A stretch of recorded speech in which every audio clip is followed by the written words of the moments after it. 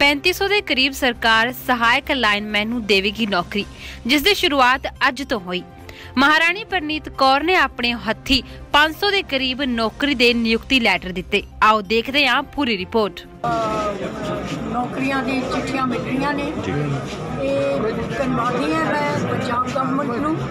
ਔਰ ਪੀਐਸਸੀ ਪੀ ਆਪਣੇ ਬਿਜਲੀ ਬੋਰਡ ਦੇ ਚੇਅਰਮੈਨ ਨੂੰ ਔਰ ਇਹਨਾਂ ਦੀ ਸਾਰੀ ਟੀਮ ਨੂੰ ਕਿ ਇਹਨਾਂ ਨੇ ਇਹਨਾਂ ਹਾਲਾਤਾਂ ਦੇ ਵਿੱਚ ਵੀ ਜੋ ਸੀਐਮ ਸਾਹਿਬ ਦਾ ਪ੍ਰੋਮਿਸ ਸੀਗਾ ਘਰ ਘਰ ਨੌਕਰੀ ਦਾ, ਅੱਜ ਉਹ ਉਹਦੇ ਵਿੱਚ ਹੋਰ ਵਾਧਾ ਪਾਇਆ ਹੈ।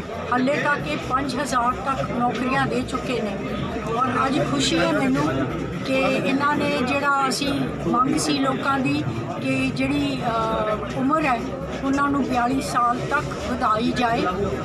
ਉਹ ਵੀ ਕੀਤਾ ਔਰ ਇਸ ਦੇ ਨਾਲ ਫਾਇਦਾ ਹੋਇਆ ਔਰ ਕਈ ਲੋਕਾਂ ਨੂੰ ਅੱਜ 300 ਚਿੱਠੀਆਂ ਮਿਲ ਰਹੀਆਂ ਟੋਟਲ ਕਿੰਨੀ ਹੈ ਮੈਡਮ ਸਾਹਿਬ? ਪੋਸਟ ਟੋਟਲ 5000 ਮਿਲ ਗਈਆਂ ਜਿਹੜੀ ਕਰੀਬ 5000 ਤੱਕ। ਹਾਂ ਪਰ ਅੱਜ ਅੱਜ ਦੇ ਦਿਹਾੜੇ ਦੇ ਵਿੱਚ 300 ਮਿਲ ਰਹੀਆਂ। ਕੀ ਵਿਰੋਧੀਆਂ ਦੇ ਮੂੰਹ ਬੰਦ ਹੋਣਗੇ? ਜਿਹੜੇ ਕਹਿੰਦੇ ਸੀਗੇ ਵੀ ਪੰਜਾਬ ਸਰਕਾਰ ਘਰ ਘਰ ਨੌਕਰੀ ਦੇਣ ਦੇ ਵਾਅਦੇ। ਦੇਖੋ ਵਿਰੋਧੀਆਂ ਦੇ ਮੂੰਹ ਕਦੀ ਬੰਦ ਹੀ ਨਹੀਂ ਹੁੰਦੇ। ਆਪਣੇ ਦਾ ਪੋਲ ਖੋਲਣ ਪਹਿਲੇ।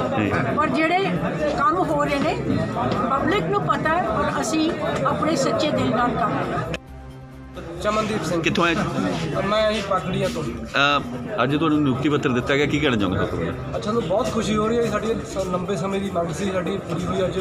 ਤੇ ਸਾਨੂੰ ਜਾਣੀ ਕਿ ਅਸੀਂ ਲੰਬੇ ਸਮੇਂ ਤੋਂ ਉਡੀਕ ਕਰ ਰਹੇ ਸੀ ਦਿੰਦੀ ਹੈ ਸਾਡੇ ਵਾਸਤੇ ਬਹੁਤ ਭਾਗਾਂ ਵਾਲਾ ਦਿਨ ਆ ਸਾਰੇ ਸਾਥੀਆਂ ਵਾਸਤੇ। ਕਿ ਸਾਡੀ ਇਹ ਮ- ਮੰਗ ਪੂਰੀ ਹੋਣ ਜਾ ਰਹੀ ਹੈ ਤੇ ਅਸੀਂ ਬਹੁਤ ਧੰਨਵਾਦ ਕਰਦੇ ਹਾਂ ਮਹਾਰਾਣੀ ਭਗਤ ਕੌਰ ਜੀ ਦਾ ਜਿਨ੍ਹਾਂ ਨੇ ਜਿਨ੍ਹਾਂ ਦੀ ਬਦੌਲਤ ਸਾਨੂੰ ਬਿਜਲੀ ਬੋਰਡ ਤੋਂ ਨਿਯੁਕਤੀ ਪੱਤਰ ਪ੍ਰਾਪਤ ਹੋਏ ਨੇ। ਕਿ ਅਹ, ਤੁਹਾਡਾ ਪਦ ਕੀ ਹੋਏਗਾ ਇਸ ਵਕਤ? ਤੁਹਾਡੀ ਅਹ, ਜਿਹੜੇ ਨਿਯੁਕਤੀ ਪੱਤਰ ਦਿੱਤੇ ਤੁਹਾਨੂੰ? ਅਸੀਂ ਅਸਿਸਟੈਂਟ ਲਾਈਨਮੈਨ ਵਜੋਂ ਆ ਜੀ।